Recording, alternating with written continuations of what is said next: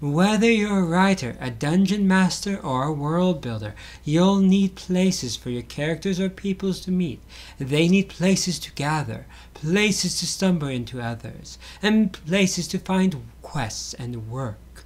There's always the stereotypical tavern, or maybe a tavern that's an inn to mix it up. But there's so many other diverse and interesting places for these interactions that might even lead to their own conflicts and plots. Maybe your characters went to the local church or temple, as most in the town would be there. The distraught might be there seeking aid or comfort. Someone might be offering a sacrifice to the gods for aid in a challenge they are to face. Make your characters make themselves the answers to their prayers. As your characters go their way, or about a quest, they might pass through a forum, town square, or market. In the forum, the wealthy and politicians debate the recent bandit raids. Could your characters profit from that? A crier announces in the square, the Senate will reward anyone who aids in the war. The market bustles with people. A merchant chases away common thieves, then explains that he lacks his famous wares because the bandits and thieves. Your characters continue on. They want to relax. On to the bathhouse they go, whether to bathe, relax in the pools, be pampered in the spa, or to enjoy the company of a bathhouse maid or lad. It's their choice. There they overhear a drunken politician brag of the trap he set for his rival. A shopkeeper speaks to her friends of how she struggles to prosper in these troubled times. Now you might be saying, but my story is medieval.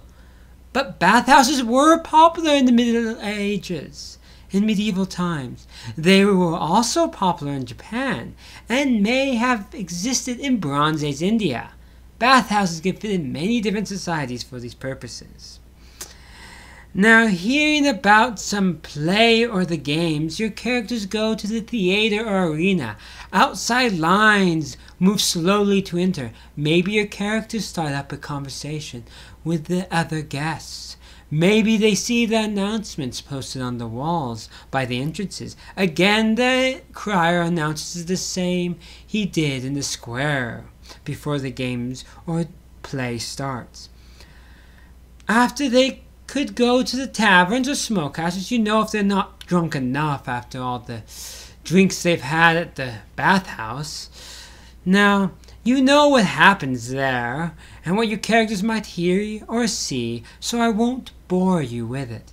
Now, it's been a long and uneventful day for your lazy characters, who didn't pick up on any of the quests presented.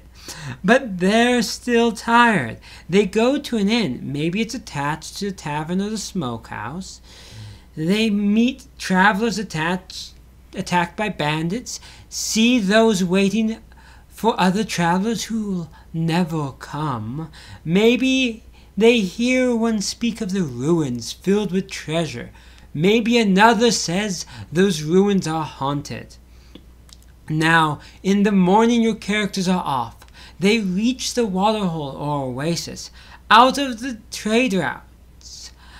Caravans mingle there with pilgrims, refugees, and nomads. Two clans of nomads are fighting. Apparently, the rivers' migration routes have crossed.